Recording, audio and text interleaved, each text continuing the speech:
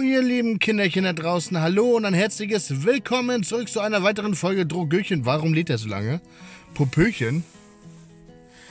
Ähm, keine Ahnung, warum er jetzt gerade so lange lädt. Wir machen mal eine kleine Pause. Oder, nee, andersrum, ich kann euch erstmal totsappeln, glaube ich, bis dahin. Und zwar, ähm, ja, warum kommen so viele, äh, so viele wenige Folgen? Ist auch nicht schlecht. So viele wenige Folgen. Es wird in Zukunft so bleiben. Also es wird ähm, nicht mehr, da ähm, ich in Prüfungen stecke und ähm, dann natürlich auch mit Beruf dann durchstarten möchte. Ja, und deswegen, und zusätzlich bin ich jetzt auch noch richtig krank geworden, ne? So ist das eben halt, ne, manchmal. Na, mal gucken, wir warten jetzt einfach mal, bis er zu Ende geladen hat. Ich weiß nicht, warum er jetzt gerade so abspackt, ich verstehe es nicht. Ich habe das Spiel jetzt einfach mal neu gestartet, mal gucken. Ähm, so, Laurie liegt im Bett. Drogo hat das Herrenhaus verlassen. Wohin, weiß ich nicht. Peter sitzt wieder am Klavier und wir lauschen seinen wunderschönen Tönen. So, los geht's. Ich bin noch nicht müde. Ich lausche der me melodianischen Melodie, die durch die Wände dringt und nehme dann mein Handy. Ich scrolle meine Kontakte durch und entscheide mich schließlich für Sarah. Ich fühle mich nicht gut, weil ich ein bisschen zu aggressiv ihr gegenüber war. Nach zweimal Klingeln geht sie ran. Ach, wie schön. Wir entschuldigen uns hoffentlich bei ihr. So, ich nehme mal ganz kurz einen fetten Screenshot. Das müsst ihr mal sehen. So. Hallo Sarah. Sahnetrüffelchen hier. Störe ich? Nein, überhaupt nicht. Wow. Vielleicht vertragen wir uns ja. Ja, ich habe einfach gerade nichts zu tun. Und da dachte ich mir, ich rufe dich mal an, um zu reden. Ach so, du willst also mit mir reden? Ja. Ich seufzte. Mir ist klar, dass ich nicht einfach so tun kann, als wäre nichts gewesen. Hör zu, mir tut das so leid, was letztens war. Ich war nicht in meinem Normalzustand. Ich weiß, dass ich an dem Abend ziemlich Stuss geredet habe. Tut mir leid, dass ich so gemein war. Schweigen am anderen Ende der Leitung. Sarah grübelt offenbar gerade über meine Worte nach. Ja. Wie war dein Tag? ich will ehrlich sein. Wie jeder Tag, an dem ich mich um Lori kümmern muss. Hat sie dir wieder Sorgen bereitet?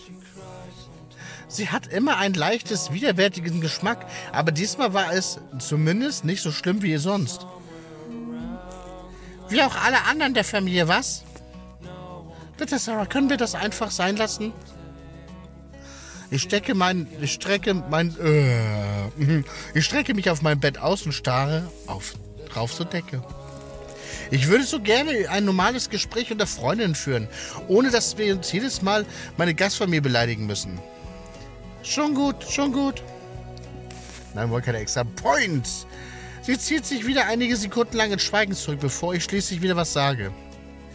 Ich will es mit, mit dir nicht verscherzen, genau. Mit ihr nicht verscherzen. Ich nutze die Gelegenheit, um ihr aus der Patsche zu helfen. Warte mal. Um erste Komm, wir machen das. Es geht es um Laurie oder geht es um Sarah? Ich rufe nicht an, damit wir uns gegenseitig böse sind. Ich hatte einfach nur Lust, mit dir zu reden. Ich weiß, tut mir leid. Hättest du Lust, bei mir vorbeizukommen? Jetzt sofort? Ja, jetzt, außer wenn du etwas Besseres zu tun hast. Ich nehme die Einladung sehr gerne an und freue mich riesig darüber. Ich lege auf und werfe mir schnell eine Jacke über. Als ich auf den Flur entlang laufe, ruft mich eine Stimme zurück. Du gehst. Ja, ich gehe zu Sarah. Ihr müsst nicht auf mich warten. Er hebt die Augenbrauen und sieht gelangweilt aus. Ich bin nicht ganz so begeistert, dass du heute Abend noch losziehst. Er ist so süß. Wart nicht genügend Energie? Am Arsch nicht genügend Energie. Ja, dann müssen wir eben mal jetzt mal Karten legen, um genügend Energie zu haben, um diese Geschichte weiter fortzusetzen zu können. So, weiter geht's hier, Kinderchen.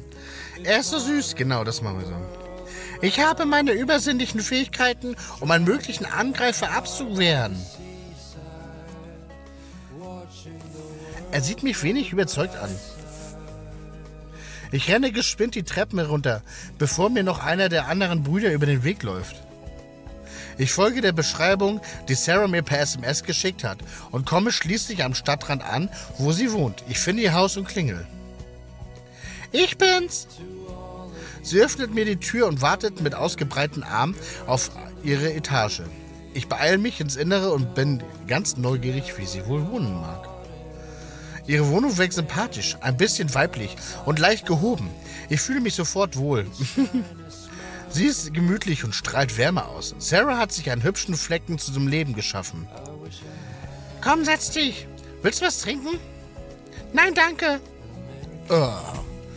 Okay, aber wir sind weitergekommen in der Story. Es wird wieder spannend, finde ich. Wir sind wieder unterwegs und ich hoffe mal, ähm, dass uns was passieren wird und dass Drogo vielleicht da irgendwie seine Finger mit dem Spiel haben wird, wie das nun sein wird, ob uns retten wird, rausholen wird oder eben halt, ob er vielleicht damit was zu tun hat, uns Böses anzutun. Das glaube ich aber eher weniger.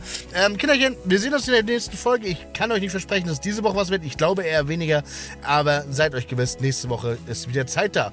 Denn da habe ich meine erste Prüfung nämlich hinter mich gebracht. Ich muss morgen die Prüfung abschließen, meine erste Prüfung. Das ist natürlich auch die wichtigste Prüfung. Ja, und ich hoffe, dass ich dann ein bisschen gesünder und fitter bin. Ne? Also, ihr Kinderchen, bis zum nächsten Mal. Ciao! Unknown. Baby, I'm a song on the beat.